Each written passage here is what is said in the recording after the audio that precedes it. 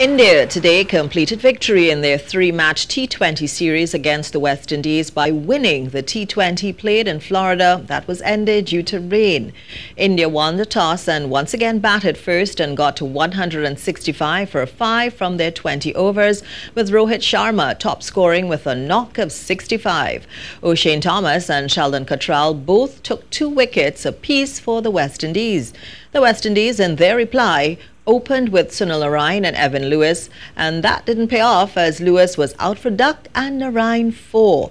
Rovman Powell scored 54 for the West Indies before he was out, and the men in maroon progressed to 98 before the rains came with them, needing another 70 runs from 27 balls, putting an end to play.